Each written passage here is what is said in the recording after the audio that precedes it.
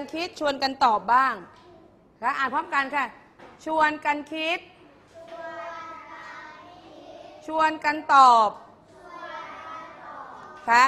ชวนกันคิดชวนกันตอบเมื่อเรียนเรื่องราวของประโยคแล้วนักเรียนสามารถที่จะจำแนกได้ว่า ประโยคประกอบไปด้วย ภาคประธานและภาคแสดง มีประธาน มีกริยา มีกรรมค่ะฉะนั้นมาดูค่ะเอาสองสอง สองกลุ่มตั้งใจดูนะคะอ่าดูครูจะถามอะไรนะ ถามทีละคนดีกว่า ดีไหมคะ ใคร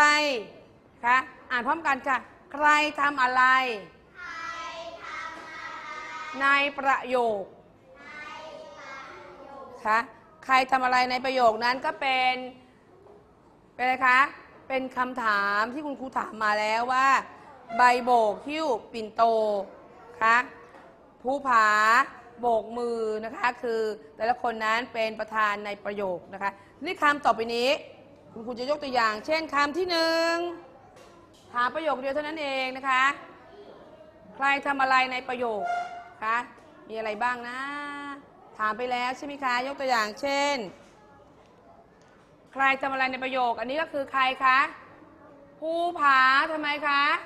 โบกมือคะภูผาโบกมือ ใครทำอะไรในประโยคคะ ใครเอ่ยทำอะไรในประโยค ใครคะ ใบโบกทำอะไรคะ หิ้ว หิ้วปิ่นโตนั่นเองนะคะ ได้แล้วนะคะ ทีนี้ครูถามต่อละ คุณครูจะถามต่อละคะสิ่งต่อไปนี้เป็นประโยคหรือไม่นะคะอ่ามาดูค่ะ อ่านค่ะหนึ่งสองสาม หนึ่งสองสามคำที่หนึ่งอะไรคะนอน นก งู ใช่ประโยคหรือเปล่า ใช่ไม่ใช่ ใช่ไหมคะ โอ้น้องกัญชัยรีบตอบเลยว่าใช่ นอน นก งู เป็นประโยคใช่หรือเปล่าคะ ใช่หรือไม่ใช่ ใครตอบว่าใช่ ประโยคประกอบไปด้วย ภาคประธานและภาคแสดง ไหนหนอน มีหนอน มีนก มีงู มีหนอนหนอนนกงูเป็นประโยคหรือเปล่าคะ มีไหมคะ ไหนแสดงกริยาตรงไหน มีแสดงกริยาไหม ไม่มี มีกรรมไหม มีกรรมไหม ไม่มี ก่อนตอบต้องคิดก่อนฉะนั้น ใช่ประโยคหรือไม่ใช่ ใช่ประโยคหรือเปล่าคะ ใช่ไหมคะอ้าวขอเสียงให้คิดก่อนให้คิดหนึ่งนาที ให้คิดหนึ่งนาที คำว่าหนอนนกงูเป็นประโยคหรือไม่ เป็นหรือไม่เป็น เป็นหรือไม่เป็นคะใช่ประโยคไหมคะ ไม่ใช่ เพราะอะไรจึงไม่ใช่ เพราะไม่มีอะไรเอ่ย ไม่มีภาคแสดงนะคะ แค่นี้คุณครูก็ทราบแล้วว่านักเรียนเข้าใจนะคะ อย่างน้อยเข้าใจ 80%นะคะ 100%เอ่อเข้าใจ 80%ถือว่า ประเมินครั้งนี้ผ่านนะคะมี 80%ที่ตอบได้เหลือ 20%ยังนั่งงงอยู่นะคะอ่ามาดูค่ะคำตอบคือคำว่า ไม่ใช่ครับ ใช่ไหมคะกสิดิตเพราะไม่มีภาคแสดงถ้าไม่มีภาคแสดงไม่มีคำกริยานะคะไม่ใช่ค่ะเอามาดูค่ะเรามาสรุปกันด้วยเพลงกันแล้วกันนะคะเอามาดูค่ะ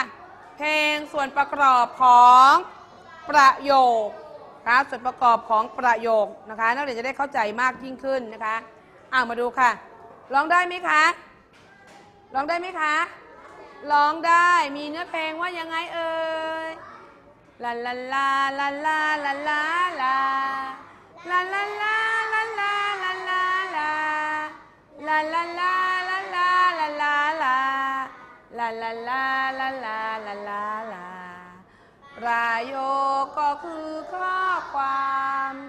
ที่จะทำให้เราทราบว่า มีประธานและคำกริยา อีกอย่างนะก็คือกรรม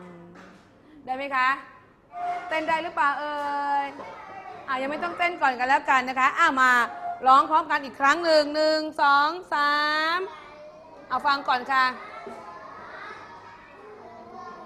เพลงส่วนประกอบเอาฟังร้องตามกันแล้วกันนะคะหนึ่งสองสามใครร้องได้ร้องดังๆเต้นประกอบท่าไปด้วยก็ได้ค่ะ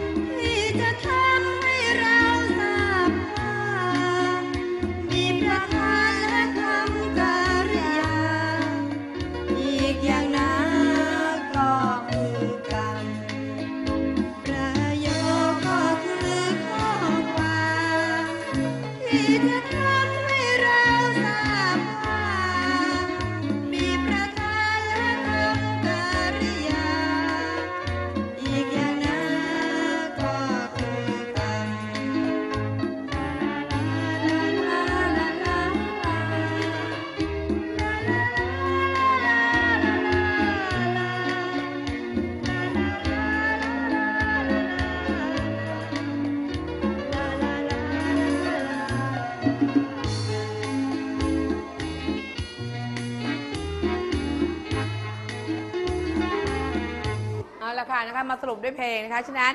ประโยคก็คืออะไรคะนักเรียน ข้อความนะคะที่ทำให้เราทราบว่า ในประโยคนั้นมีใครบ้าง มีประธานและคำกริยา บางประโยคไม่มีกริยาได้ไหมคะ ไม่ได้ไม่ไม่อยู่ในภาคภาคแสดงฉะนั้น ประโยคก็คือข้อความที่ทำให้เราทราบว่ามีประธานคำกริยาและมีกรรมอยู่ในประโยคค่ะยกตัวอย่างเช่น เอามาดูนะ ยกตัวอย่างเช่น อ่านประโยคที่ได้ใจความยกตัวอย่างเช่น ช้างน้อยโบกหูอ่านพร้อมกันค่ะ มีประธาน มีกริยา มีกรรม ผู้ผาเรียนหนังสือ ผู้ผาเป็นประธานเรียนเป็นกริยาและหนังสือเป็นกรรมนะคะอ่ามาดูต่อไป ลูกช้าง เรียนโรงเรียน ลูกช้าง ลูกช้างเป็นอะไรในประโยคแล้ว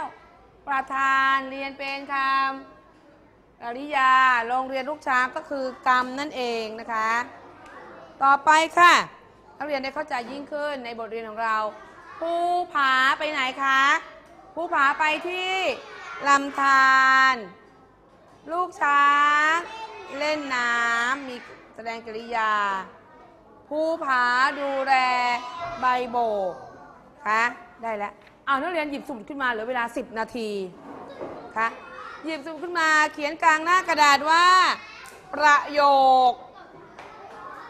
เขียนกลางหน้ากระดาษว่าประโยค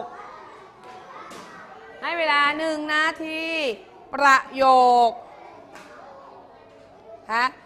อ่านักเรียนลงที่แล้วยังคะ ลงที่แล้วยังเอ่ยอ้าวลงแล้วใช่ไหมคะ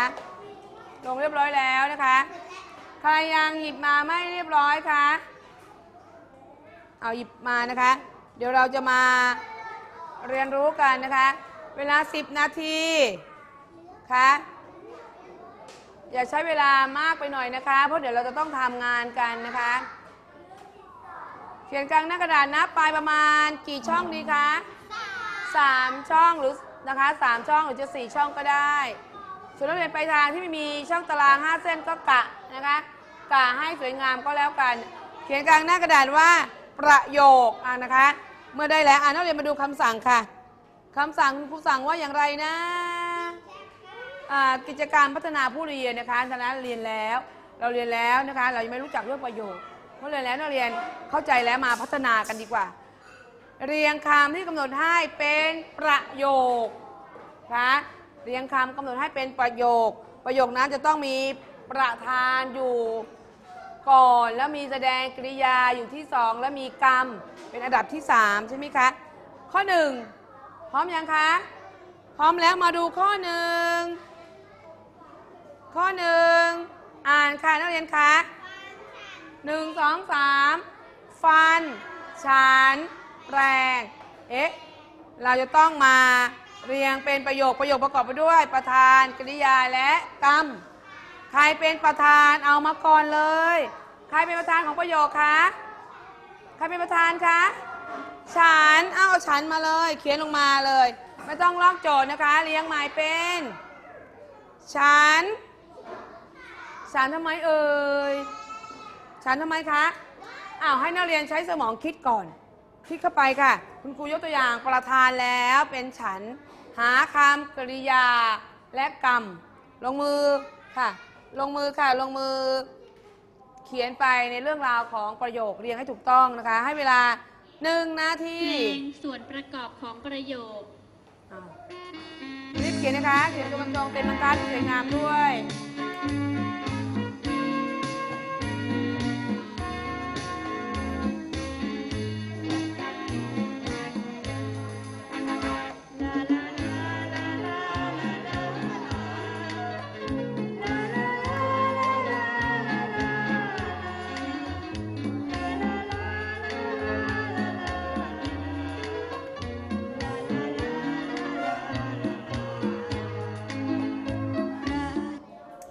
ยังคะเรียนได้ยังคะ ได้ว่าอย่างไรเอ่ยกริกริยาคือคำว่าฉันทำไมเอ่ยแปลง เป็นกริยาแปลงแล้ว ใครเป็นกรรมล่ะ ถูกถูกแปลงใครคะ ถูกกระทำแล้วก็คือ ฟัน ฉันแปลงฟันเป็นประโยคที่ถูกต้องนะคะข้อหนึ่ง มีใครเรียงประโยคไม่ถูกต้องมีไหมคะ มีไหมเอ่ย ไม่มีนะคะ มีประธาน มีกริยา และมีกรรม ข้อหนึ่งผ่านแล้ว ค่ะน้องเชอแตมเขียนเสร็จแล้วยังคะน้องเชอแตม เอาเสร็จแล้วน้องเชอแตมบอกเสร็จแล้ว ฉันแปลงฟัน คะน้องพีรพลล่ะคะ เสร็จแล้วยังคะ เสร็จแล้วนะคะ ถ้าน้องพีรพลเสร็จแล้วคนอื่นก็ไหมครับ เสร็จแล้วนะคะ คำที่สองโอ้ตั้งใจเรียนมากเลยบอกว่าคำที่สองได้แล้วครับคำที่สองเอ๊ะใครดีนะคำที่สองโอ้โห พ่อ เพลง ร้อง ฉะนั้นเป็นอะไรนะ มีประธาน มีกริยา และมีกรรม ใครเป็นประธานในประโยคนี้ พ่อเป็นประธานแน่ๆเลย เป็นนักร้องใช่ไหมคะฉะนั้น เราก็นำคำที่เป็นประธานลงมาก่อนเลยคำไหนเป็นประธานคะอยู่ในภาคประธานก็คือคำว่า พ่อ พ่อทำไมเอ่ยอะอะอะเรียงให้เวลาเรียงค่ะหนึ่งนาที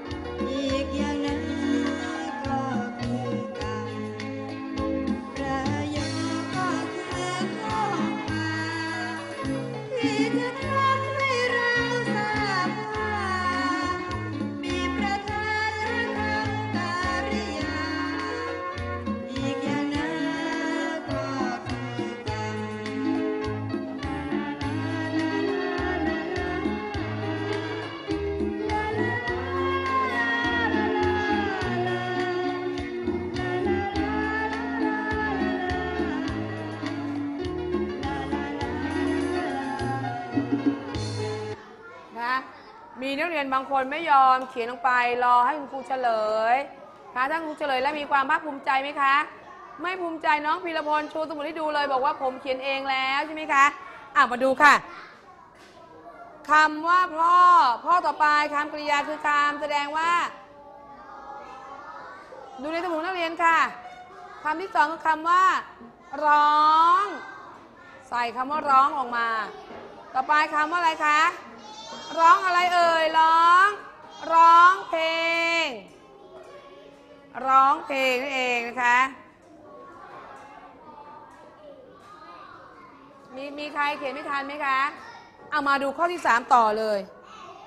ข้อที่สามขึ้นข้อสามใหม่แล้วนะอ้าวข้อสามอ้าวใครนะ ใบโบก ปิ่นโตหิ้ว ให้เลี้ยงใหม่นะ ใครเป็นประธาน ใครเป็นกริยาคำไหนเป็นประธาน อะไรเอ่ย ใบโบกเป็นประธาน ต่อไป อะไรเอ่ยคำต่อไปอะไรคะคำกริยาในการแสดงคำว่าอะไรคะหิ้วคะหิ้วหิ้วอะไรนะ ปิ่นโต ข้อที่สามลงมือทำค่ะ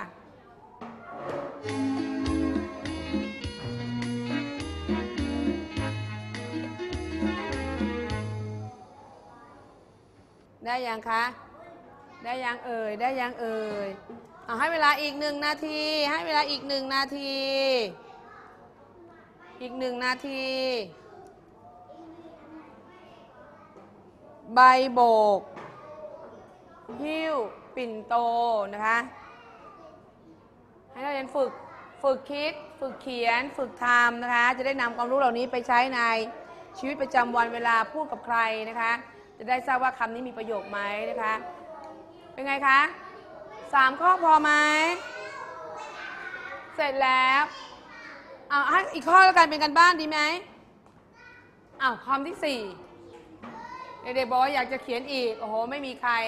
ตั้งใจเรียนเท่าอีกแล้วใช่ไหมคะคำว่าโรงเรียนไป ลูกช้าง โรงเรียนไป ลูกช้างจะแต่งว่ายังไงคะ ขอเสียงพร้อมกันหนึ่งสองสามลูกช้าง ไป ไปไหนคะ โรงเรียนเห็นไหมคะ ลูกช้างไป โรงเรียนคะเป็นประโยค ค่ะให้ทราบว่าลูกช้าง ลูกช้างไปไหน ไปไหน ไปที่ไหน ไปโรงเรียนนะคะ ลูกช้างไปโรงเรียนนั่นเองคะสนุกไหมคะ สนุกนักเรียนบอกว่าแต่งประโยคได้นะคะ เอาละค่ะฉะนั้น ข้อ 4 พอแล้วนะคะ วันนี้นักเรียนคะนักเรียนทั้งต้นทางและปลายทางเก่งมากเลยคะสามารถที่จะเรียนรู้ในเรื่องราวของประโยค คะจำแนกได้ว่าประโยคนั้นแบ่งออกไปเป็นสองภาคก็คือภาคแสดง กับภาคประธานนะคะและสามารถที่จะเรียงได้ว่าประโยคนั้นจะต้องมีประธานอยู่ก่อนนะคะแสดงกริยาต่างๆ มีกรรมมารองรับ การนักเรียนนำความรู้เหล่านี้ไปใช้ในชีวิตประจำวันนะคะ พบกันใหม่ค่ะ สวัสดีค่ะ